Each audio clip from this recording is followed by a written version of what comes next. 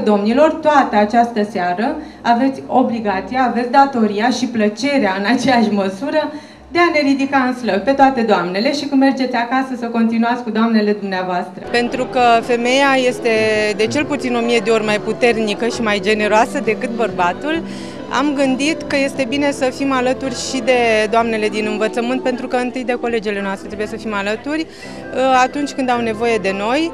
Uh, le și omagiem pe doamnele care au merite deosebite pe parcursul activității în învățământ, dar în partea a doua o să ne bucurăm de darul pe care îl vom putea face unei uh, doamne profesoare care are anumite probleme de sănătate.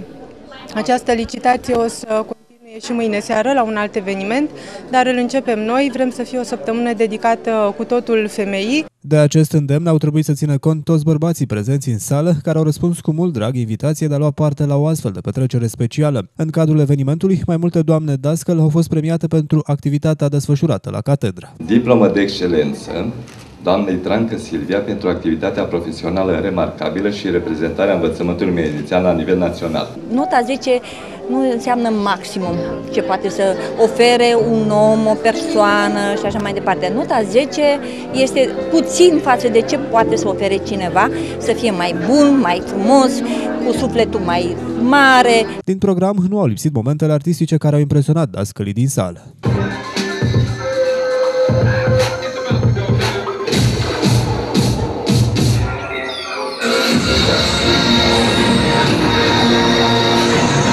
Însă, întâlnirea dascălor de seara trecută a avut și un scop umanitar. Aceștia au organizat o licitație pentru unul dintre colegii lor care suferă de o boală nemiloasă. Este vorba de o doamnă de 51 de ani, foarte frumoasă, care este singură la ora aceasta și care suferă de o boală rea.